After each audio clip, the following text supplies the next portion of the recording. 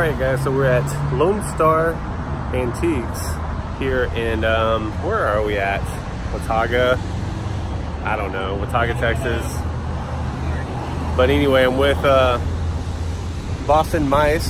No, no, stay back. I look thinner when you stay back. Yeah, how about from the, Oh, out better? front, I'm like, better? yeah. That's better, right? Uh, Angus still loves me. Yep. So anyway, we're gonna go check it out in here. It's been a minute since I've been here, but they usually have some pretty good toys. So let's go check it out.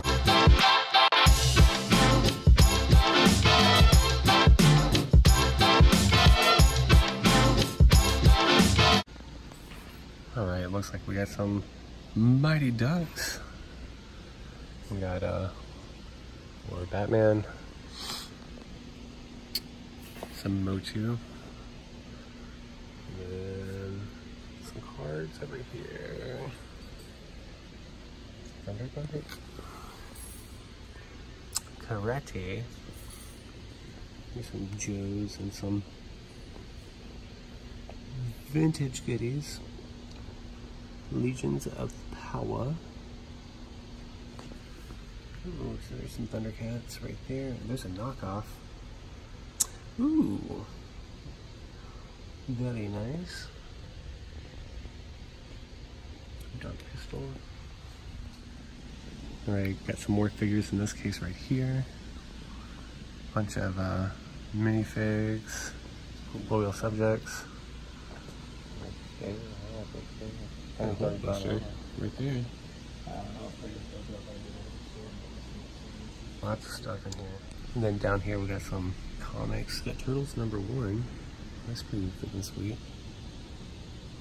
And then Pops. More comics. Transformers, that's pretty sweet. Down here, got a Destro. I was looking at the Bond card. Oh yeah, some Transformers. Those things, remember them? Yeah, I remember those. Hardest video game I ever had to play. All right, our next booth over here. You like? We've got a Select Hulk, which is one of the best Hulks figures around, in my opinion. There's a bunch of Toy Biz goodness right here. It's pretty sweet. Here we go. Here's some Star Wars. See what we got. Pronouncing it wrong. Star Wars. Star Wars. I'm from Boston. Star Wars. Here's some vintage stuff over here. Just Rambo, Thundercats, Sectaurs. How much are these Sectaurs going for? That 10? 18. There's Mask right there. And here's some Toidles. Ooh, I don't have the prehistoric Leo. That might might have to get him. Don't have him. There's a Mouser. Might have to definitely pick him up. And the original turtles over here. Well, two of them at least. Got that TIE fighter. Ghostbusters meter. Here's some of the 12 inch Star Wars. There's a bunch of them down here. Yeah, that's a 16 year baby. Cool. We got on on time. Here's another on on time time. Uh, All right, we are at another booth. Oh, so here's an Iron Man DV. Like I said, I'm trying to pick up 5.95. I mean, that's still a good price, but I'm thinking like three dollars. That's what I'm thinking. Batman Returns. Batman, Man figures. right? I like that. I loved him when I was younger. Lemieux. Mario Lemieux. There's some NSYNC figures. Italian. I've always loved this set. Yeah, pretty sweet. Water I World break up for here. yard sales. There's a Steve Young. Two Steve Youngs. Okay. I want one of these. What is that? Just a mixer? um, milkshake. The guy that made this one, Mm-hmm. he's the guy that bought um, McDonald's. Oh, oh, Design of oh, uh. Kevin Costner. Yeah.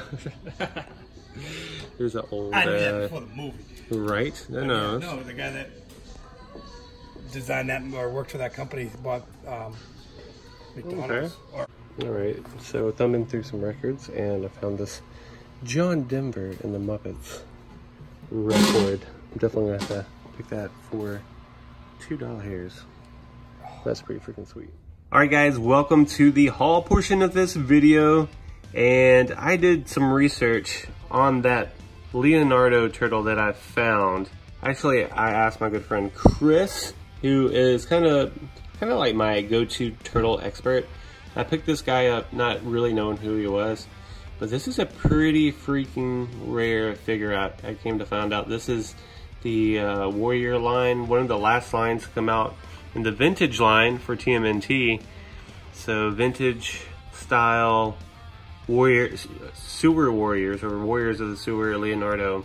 So I got him for eight dollars, and this guy, um, loose, he goes between thirty and forty dollars. So it's freaking crazy. You know, when you see turtles, guys, even though they may look goofy or whatever, and uh, of course if you collect them first, but pick them up because you never know. So, case in point, right here, got him eight dollars, and then I got the John Denver and the Muppets Christmas album. I had to get it, and it was two dollars. So I picked that up as well. And some off-screen uh, pickups I got. I finally got the Marvel Legends Ronin figure, which is pretty sweet. I like him. I really like uh, his other sword in the back. And then he has his little throwing hand as well. And then I finally got this bad boy. Got good old Beast. And I uh, can't wait to pose him with my uh, X-Men over there. Kind of see that. So I got Beast. And then I got the Godzilla, the NECA Godzilla, King of the Monsters right there. And the movie comes out tonight. I'm gonna, I might go see it tonight. I don't know, maybe tomorrow for sure, but I cannot wait for that freaking movie. But I got King of the Monsters himself, Mr. Godzilla. Anyway, guys, that is my haul. Thank you for watching, and um, next hunt, I'm not too sure. I'm not sure what we're gonna do on our next hunt. I do have some mail coming through, so stay tuned for that. And guys, thanks for watching. Peace.